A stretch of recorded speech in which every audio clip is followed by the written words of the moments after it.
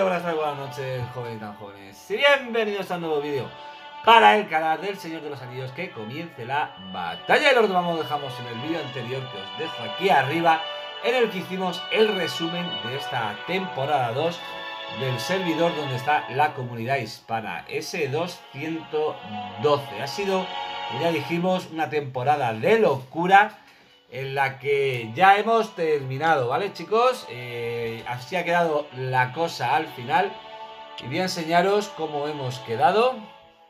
Eh, estos son los puntos de temporada que hemos conseguido pillar. Finalmente hemos sido segundos, por lo tanto nos han dado 300 puntos de temporada. Luego, como hemos conservado la capital y eh, dos bastiones más, al final hemos conseguido 14, pues otros 300 puntos y como yo a nivel personal he conseguido eh, subir mi anillo eh, más de 60, pues otros 100. 700 puntitos. ¿Y qué vamos a canjear con 700 puntitos? Eh, bueno, todavía no me los han dado. 700 puntitos que tengo aquí para reclamar. Ojo, aquí está. Y tenía 400 guardados de la temporada anterior que, como sabéis, se suman.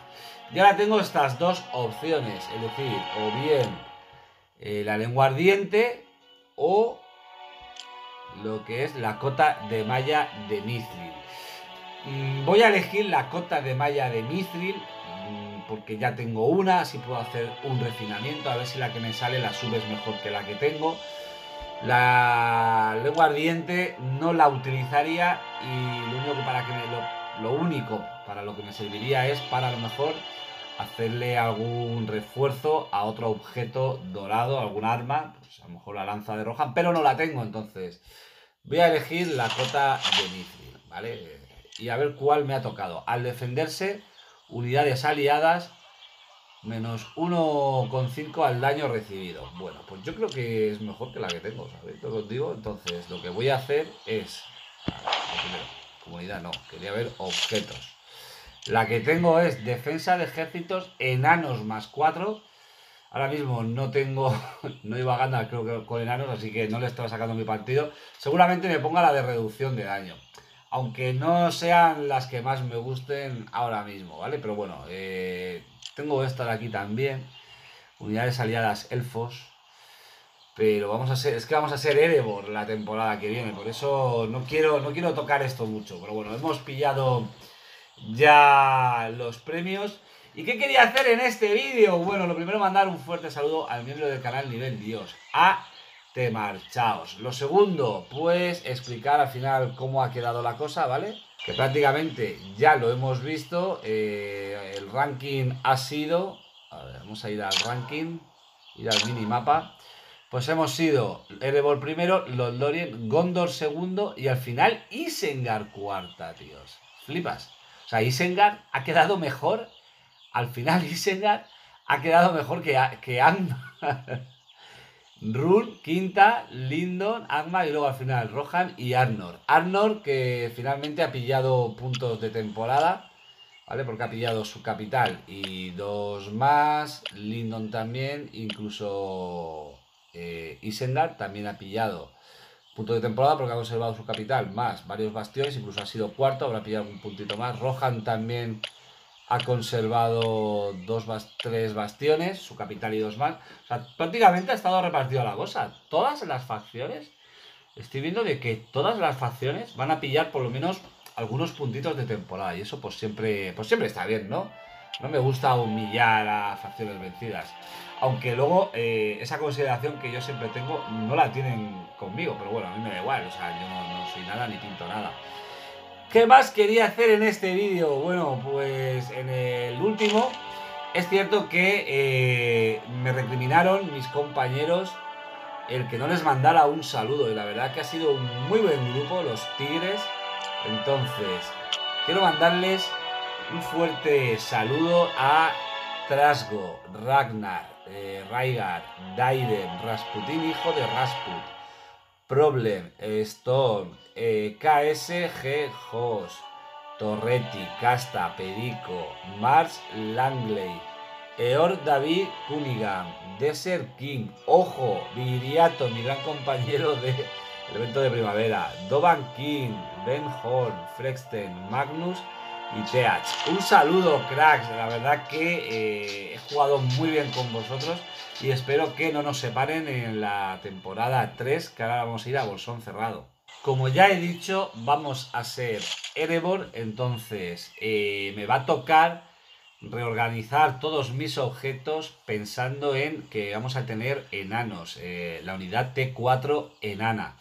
Eh, la de los elfos ha resultado ser muy buena, la verdad que la pena es que no la he podido aprovechar mucho porque yo iba con unidades montadas, ya que había apostado mucho por Theoden y Eowyn, pero con Gandalf hay que decir de que sí que le he sacado partido. Mira, os voy a enseñar eh, una de las últimas peleas que hice anoche mismo, en la que violé a un rey brujo un rey brujo con Gandalf, ¿vale? Y en parte es gracias a los centinelas, que la verdad que es muy buena unidad, ¿vale? Tiene golpe seguro, tiene eh, inmunidad al aturdimiento, encima sube un poco la defensa.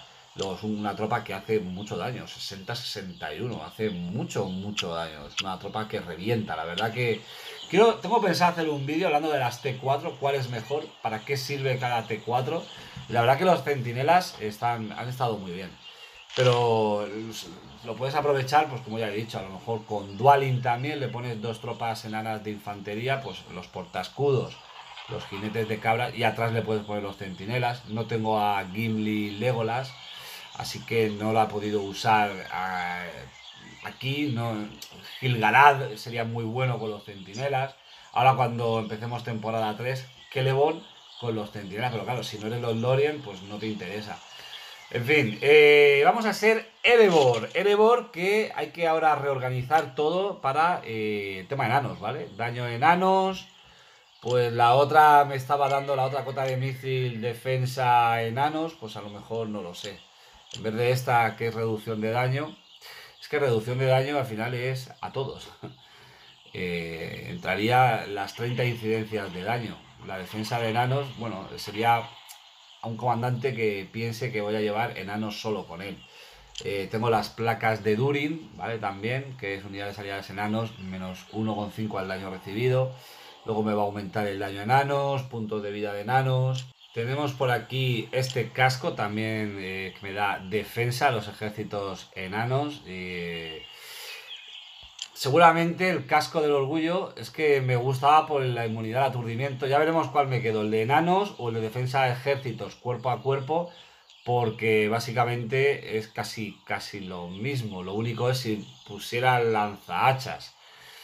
Así que no lo sé, ¿vale? Porque este me gusta por esa inmunidad, que es poquita, ¿vale? Es un 15% de inmunidad de aturdimiento, pero me gusta por lo menos tener ese 15%. Eh, todo lo que tenía de elfos, a lo mejor pues me lo cargo porque no creo que vayamos a volver a ser elfos. Ya veremos, ¿vale? Ahora tengo que reorganizar todo. Seguramente pues la espada Noldor me la cargue y suba y suba esta, ¿vale? El hacha de Khazad Dum. Eh, porque con un refuerzo, igual le puedo hacer dos refuerzos y, y con uno solo subiría 27, subiría 6 puntos. Imagino que con dos de fuerza subiría a 33. 33 de fuerza estaría muy bien. Ahora pues tendré que subir a Dualin, ¿vale? Es que esto ha sido un poco lo malo, ¿no? De decir, si queremos apostar por enanos, pues temporada 1, abres los cofres de enanos, apuestas por enanos y vas a full enanos. Ahora resulta que empezamos temporada 3, vamos a ser enanos y ¿qué comandantes tengo yo para ser enano y ser competitivo? Pues Ori, que lo tengo, ni siquiera le tengo, lo que os digo, le he desbloqueado el, el, accesorio, lo tengo a respeto cero. Balin, igual, que lo tengo igual. Me toca subir a Balin, que me tengo pendiente guía de él, porque puede ser también un buen counter contra los Rey Brujo. Pero no tengo a Gimli, no tengo en esta cuenta a Legolas, así que seguramente vaya con, con Gandalf, ¿vale? Porque al final te sirve para todo. Eh, Dualin, que lo tengo a respeto 6, a lo mejor ya deje de subir a Eowyn, que ya la tengo al 10, para empezar a darle caña a, Dualin, a subirlo pues cuanto antes también al 10 o, incluso más.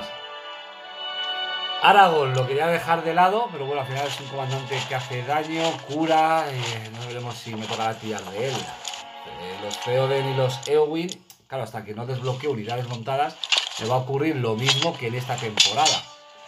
Eh, al final, al principio jugábamos con elfos y con elfos, con estos dos, pues no, no servían.